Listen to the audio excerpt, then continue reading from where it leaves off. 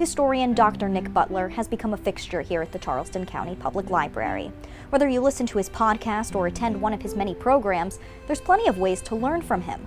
But in today's Meet Your Library Staff Spotlight, we'll focus on Nic's personal history. In 1976, you know, the big national bicentennial, my grandmother took me to Williamsburg, Virginia.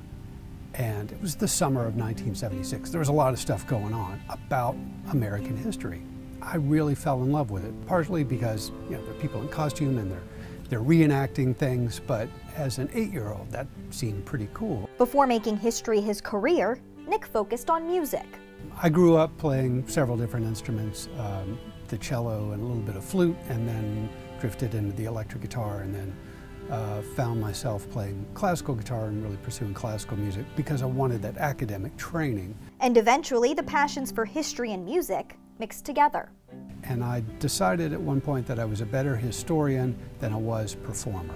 So I started out at the University of South Carolina. I did a bachelor's degree in classical guitar performance. And then I started a master's degree in classical guitar performance and then drifted into uh, music history more intensely and finished a master's degree in music history and literature. And then went to Indiana University and did a PhD in musicology, which is a big word for the history and philosophy of Western music.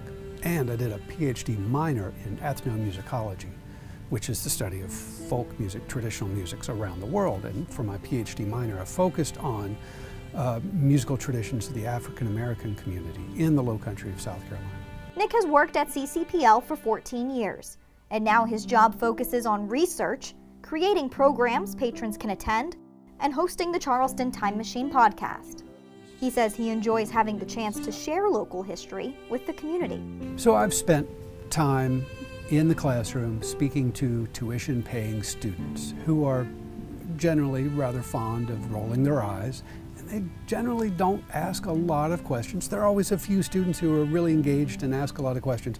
But when I do programs for the general public uh, on a variety of topics, they're always people there who are sincerely interested in learning more. So they ask good questions.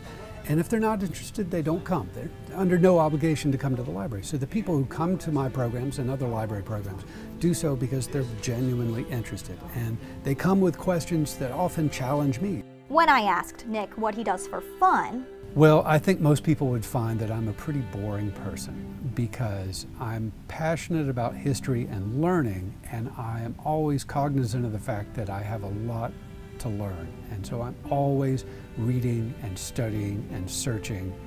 And I'm parked in front of a computer on my days off, you know, reading historic texts or searching for documents or reading online documents. Um, so I am not, I don't lead a very a terribly exciting life. But for me, it's very fulfilling, it's very interesting because I find things and I can't wait to share those things with audiences. As you can see, Nic's love for history comes out in every conversation. If you'd like to attend one of his programs or listen to the Charleston Time Machine podcast, just visit ccpl.org. And I'll see you next Monday to meet your library.